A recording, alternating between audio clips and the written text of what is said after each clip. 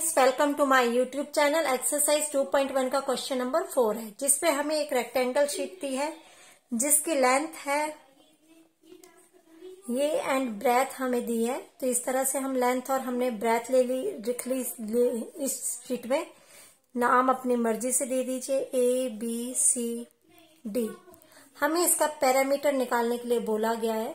तो सबसे पहले लेंथ लिख लेंगे हम। लेंथ जो है शीट की वो है हमारी ट्वेल्व वन अपॉन टू।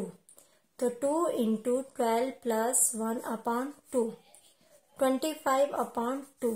अब इसके बाद विथ शीट की विथ आ गई हमारी शीट की ten two upon three means three multiply ten plus two upon three thirty two upon three अब इसके बाद हमें कहा गया है पेरीमीटर निकालने के लिए पेरीमीटर ऑफ़ शीट अब देखिए ये दिस इज़ अ रेक्टेंगल इसकी ये लेंथ है, ये ब्रेथ है. टू लेंथ है इसमें और टू ही ब्रेथ ये देखिए, एक ही है एक ही है एक ही है एक ही है तो टू हमने बाहर निकाल दिया एल प्लस बी ये हमारा पेरीमीटर आ गया. तो पेरीमीटर है two l plus b two l आ गई हमारी। Twenty five upon two centimetre and width आ गई हमारी। Thirty two upon three. अब हम इनका एलसीएम निकालेंगे। टू एंड थ्री का। अब ये सेम टेबल में नहीं आते तो यही इसका एलसीएम होगा। सिक्स आ जाएगा। अब हमने सिक्स को अब देखिए टू है टू को किससे मल्टीप्लाई किया? सिक्स आ जाए थ्री से।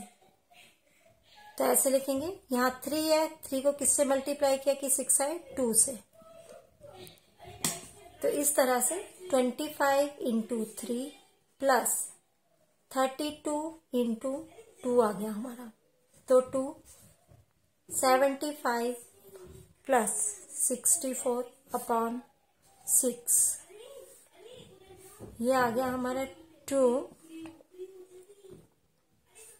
one thirty nine upon six two one सा टू टू थ्री सा six one thirty nine upon three अब हम वन थर्टी नाइन को थ्री से डिवाइड करेंगे. थ्री फोर सा ट्वेल्व अब थ्री सिक्स सा एटीन ये नीचे वन आ गया. नीचे थ्री था थ्री ही रहा. जो नीचे आया, ये ऊपर चला गया. और 46 इधर। एंड ये हमारा सेंटीमीटर हमारा पेरीमीटर आ गया है रेक्टेंगल शीट का। तो हमारा ये सम सॉल्व होता है। तो ठीक है फ्रेंड्स मिलते हैं नेक्स्ट वीडियो में।